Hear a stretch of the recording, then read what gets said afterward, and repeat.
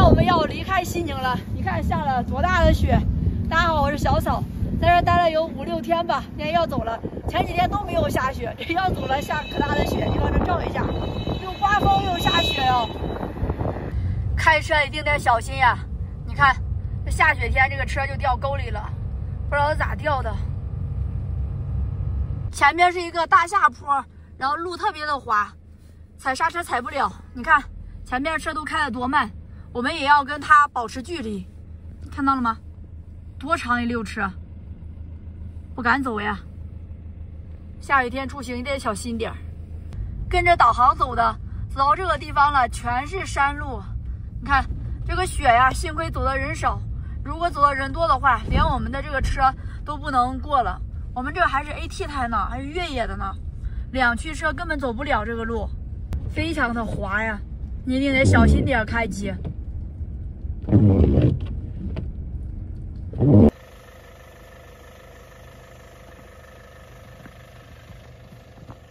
出来之后，这雪下的越来越大了，在车上都看不清路了，而且呢，这路上就特别的滑，雪下的还特别的厚。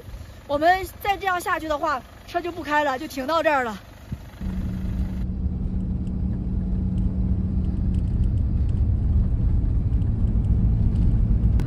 我们一直在爬坡。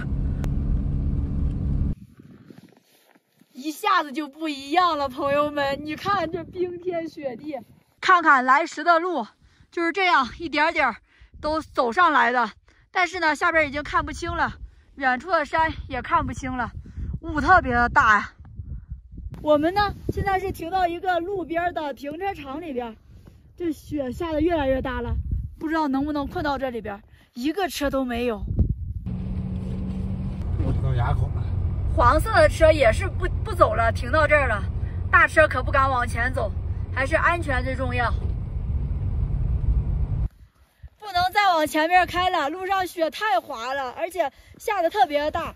我们就停到这边了。你看这个雪下的有多厚？这是一个垭口啊，海拔三千四百三十五米。前边你看又有一辆大车停到路边不走了，这路不敢往前边开，太吓人。看洪涛走这个脚印多深呀！这一会儿身上都刷白刷白的。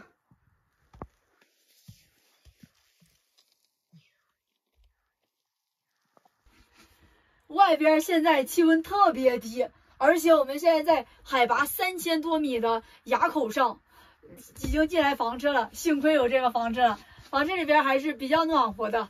不知道这个雪啊能下多长时间？幸亏我们出来的时候带了一些吃的。就吃泡面吧，他希望早点停。烧点水，喝点水吧，太冷了，太寒了。